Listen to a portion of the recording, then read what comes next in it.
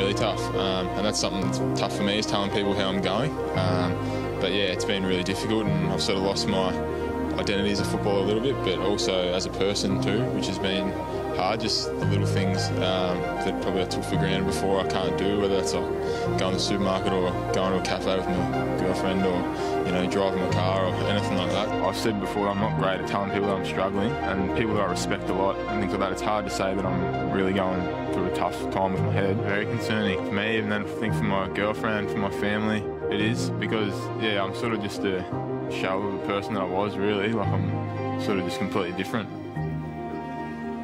Here's one of the more heartbreaking conversations I can remember hearing in football for a long, long time. Doug, I know you spent a long time with him yesterday on radio.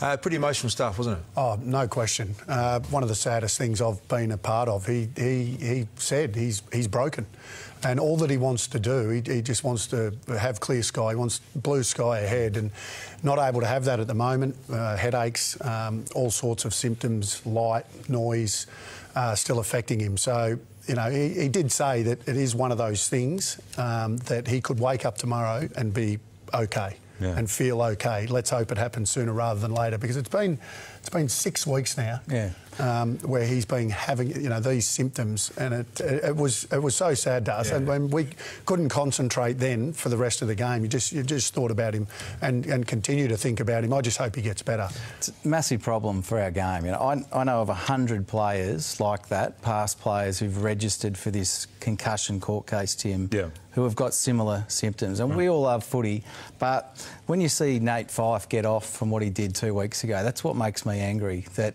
he's able to do that act. He doesn't get suspended, and then we come here and we watch what happened to Paddy McCartin. They've got to be tougher on those, those, those even attempted hits to the head. And uh, you know, there's guys like Shaun Smith and John Barnes, John Platten, Greg Williams who've spoken about their issues in life, and uh, it's a real major problem. I don't know really what the solution yeah. is. I think if you go back and you analyse every incident that Paddy McCartin was involved in, none of them would probably be like you're describing with Nat Fyfe. And I understand, what, I understand what you're saying, Mick, but no, but it's the principle. Yeah, no, I, I understand that, but most of his have been as a result of collisions, you know, like legitimate collisions yeah. in a game, him backing back in all the pack. accidentals. Yeah, copying a clip or, or whatever. And yep. Darcy and I were talking about before we came on the program about it's highlighted today, but how many blokes did we play with yeah. during the period of time, and you too, Duck, during that period of time, that were affected by symptoms that nobody even knew about mm. because it wasn't really something that people wanted yeah. to talk about at the time. Big there, issue. I was going to say, there's even players now, now in the media who've, who've got these issues. They don't want to talk about it because they're embarrassed about it. So,